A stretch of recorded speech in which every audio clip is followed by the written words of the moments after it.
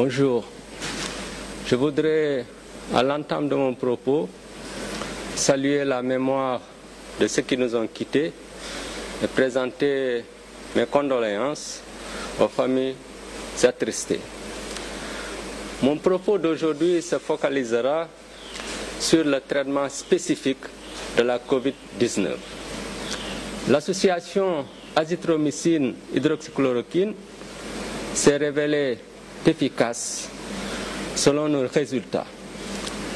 Mais cette efficacité est évidente quand il s'agit d'une prise, d'une administration précoce, mais elle est moins soutenue, elle est moindre dans les formes graves ou dans les formes vues tardivement.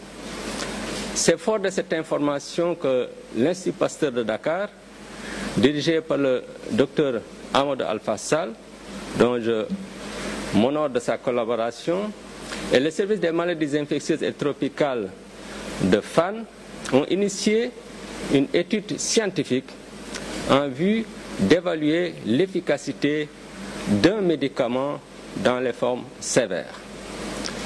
Il s'agit d'un médicament disponible depuis plus de 20 ans qui a une action anticoagulante et anti-inflammatoire efficace chez l'homme. Ces deux actions sont indispensables à obtenir dans le cadre de la prise en charge d'une forme grave. C'est d'ailleurs pour cette raison qu'ici au Sénégal, nous avions inclus dans notre prise en charge l'utilisation des anticoagulants et des corticoïdes comme anti-inflammatoires bien avant les recommandations de l'Organisation mondiale de la santé. En outre, il s'agit d'une molécule qui a une puissance antivirale très importante in vitro, c'est-à-dire au laboratoire. Le projet a démarré le 14 août 2020, conformément au protocole de recherche qui a été validé par le comité d'éthique national pour la recherche en santé.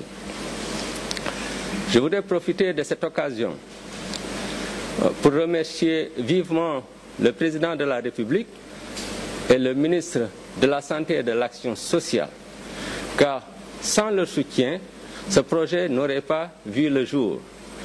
Et nous sommes les seuls actuellement, à l'heure où je vous parle, euh, qui, avons, qui avons commencé ce projet de recherche ici en Afrique.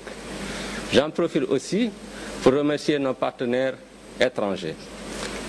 Voici en résumé les quelques informations que je voulais partager avec vous, ainsi que l'espoir que cela doit susciter dans l'amélioration de la prise en charge des formes graves.